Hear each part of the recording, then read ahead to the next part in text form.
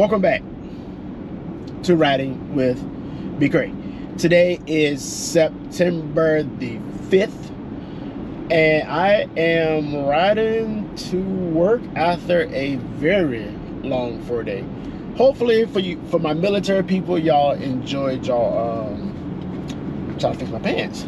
All right, hopefully for for military people, you enjoyed your four day. I certainly enjoyed mine. I got a lot of things done.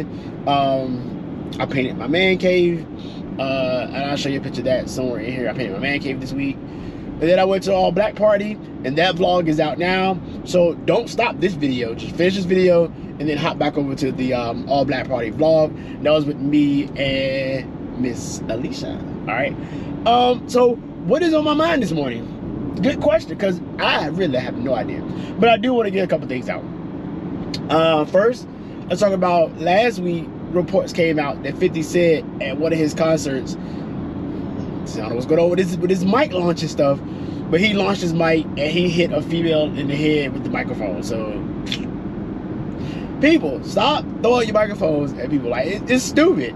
Like if you don't want to perform, then don't perform. But at the same time, if you are in the audience, you gotta be respectful too. These people are out. These people are out here performing for you. You paid your money. You paid your ticket.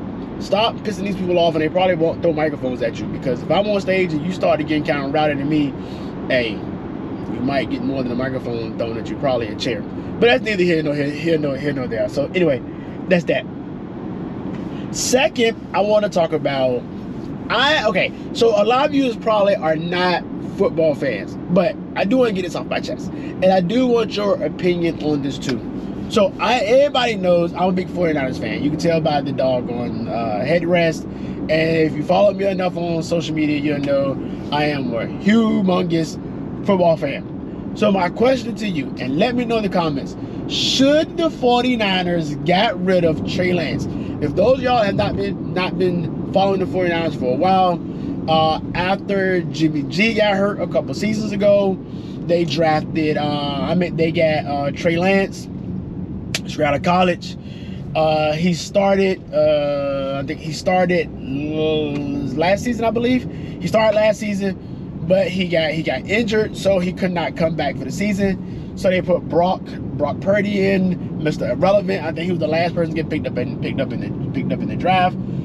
He came in, he made big things happen. Four nines went all the way to the championship championship game. All right, so people got people got behind Brock Purdy. They were like, "Oh, Brock Purdy is the man. Brock, Brock Purdy is this." But then Trey Lance just kind of sat on the sidelines.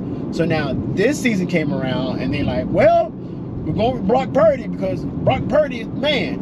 And then they got they got uh, I think dude named Don Don Arnold, and they got another uh, quarterback as well. Which it came to four quarterbacks. They had to let one go. So they let Trey Lance go, but Trey Lance ended up getting uh getting tra- getting traded to the freaking Dallas Cowboys. Like, why the Dallas Cowboys? You should have just kept Trey Lance. But my question to y'all, like, do you think that was a good trade, or are we too are we too amped up over Brock Purdy? Because all you know, Brock Purdy have not played a whole season yet. He only played like half a season last year. Same thing when Jimmy G came in. Jimmy G came in. That dude couldn't play a whole season to save his life. So should we get? Should they put all their? I think they put all their marbles inside of Brock Purdy, and I don't think he's gonna be. Like I said, I'm a 49ers fan for life, but I'm not putting all my marbles inside of Brock Purdy yet because he's still new.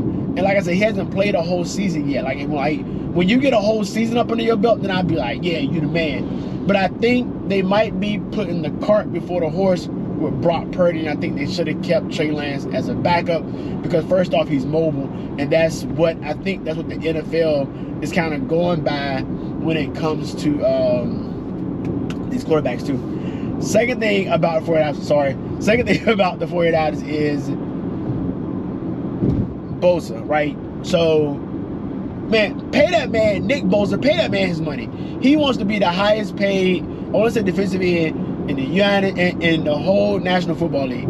I agree. I think he has the skill. I think he has the talent. And I think with him having, I want to say this is his second or third year under his belt, I think he deserves every bit of that money, and I think the 49ers will uh, will make that happen. Let me know down in the comments how you feel about that situation because they said he's supposed to play the first game this week because everybody know football season come back on Sunday. So pick your teams now. Pick your teams. I want to know in the comments who is your NFL team, and you can't change in the middle of the season. This is not a football channel, but I just wanted to get this out the way because I've been thinking about this for a while and I want to do it. So let me know down in the comments your favorite football team. Mine's the 49ers. Will always be the 49ers. My secondary team is the Washington Redskins because I am from Virginia and that is the closest team to Virginia. And I feel like everybody should root their they should root their home team, whether it's their favorite team or not. You still root your uh, you still root your home team regardless. So that's that. Anything else I want to talk about? I don't know what else I want to talk about, but positivity is is a big thing. Make sure you stay positive. Make sure you stay motivated. Make sure you continue to push yourself. Make sure you continue to drive yourself. Make sure you set goals. Make sure your goals are good. Make sure you make many goals so you can hit your hit your your, your major goal at the end. Uh, with that being said, thanks for riding with me to work today. Um, today is Tuesday. Oh, one last thing. I am gonna do okay. So we're so in my unit, we're doing something called a no do dinner, right? So if if you if you follow my channel a lot, you know I've been in the military for a while. So, it, bro, you just turn off the road. Anyway, so no do dinner. We're doing a no do dinner, right? So I'm gonna take you along on this no do dinner tomorrow. I, I, a lot of people in the news heard so much negative stuff about the military negative stuff about how leaders treat soldiers, how soldiers are in the military and the third. So all my series, Military Chronicles, I'm gonna do, I'm gonna follow the no-do dinner. I'm gonna show you what the no-do dinner is. I'm gonna talk to some people about the no-do dinner.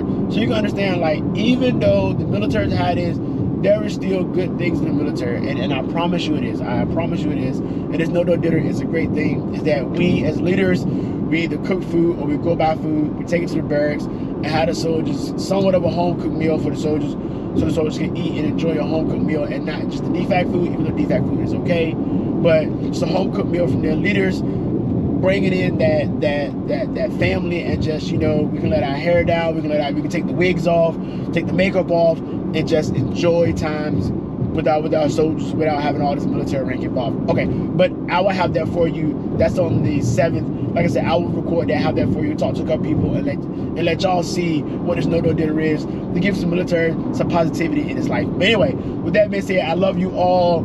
I, uh, I love and appreciate every last one of you. Please like, comment, share, subscribe, and I'll see you on the next one.